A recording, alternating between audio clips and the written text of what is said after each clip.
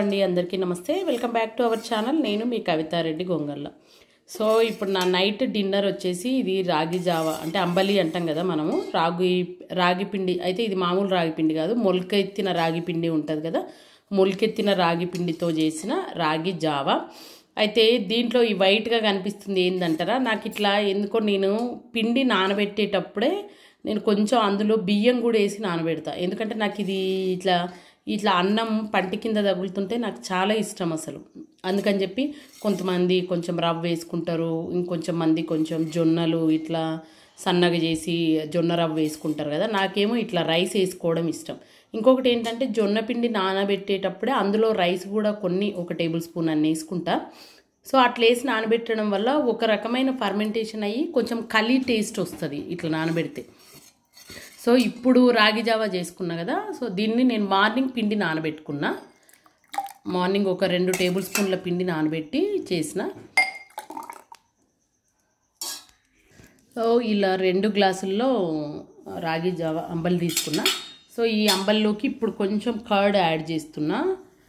ఎందుకంటే పులుపు కోసం.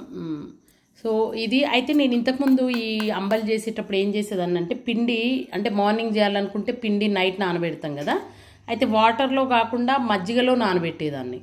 మధ్యలో నానబెడితే అసలు మనం ఈ ఈ పెరుగు ఇవన్నీ యాడ్ చేసుకోవాల్సిన అవసరమే ఉండదు అసలు. సేమ్ కలి టేస్ట్ వస్తుంది. కాకపోతే నాకు ఏం డౌట్ వచ్చింది అంటే మామూలుగా పెరుగును ఎప్పుడు కూడా హీట్ చేయొద్దు అని అంటారు కదా.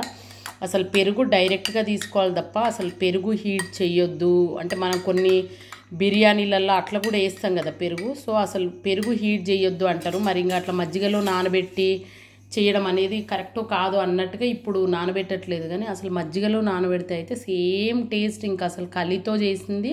మనం పైనుంచి ఏమి పెరుగు నానబెట్ పెరుగు యాడ్ చేసుకోవాల్సిన అవసరమే ఉండదు అసలు.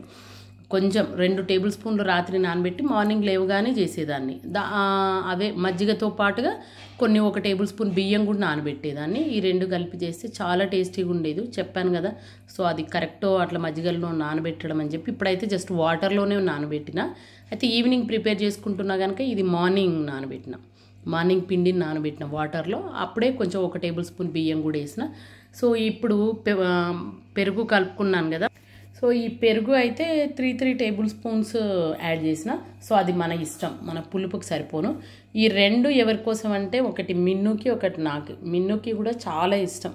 ఇంకా ఇందులో ఎక్స్ట్రాగా ఏం యాడ్ చేస్తున్నానంటే నేను కొంచెం క్యారెట్ uh, గ్రిడ్ చేసుకున్న తురిమిన క్యారెట్ కొంచెం వేసుకుంటున్నా. చాలా టేస్టీగా ఉంటుంది ఇది మధ్య మధ్యలో తగులుతుంటే ఇవంతా.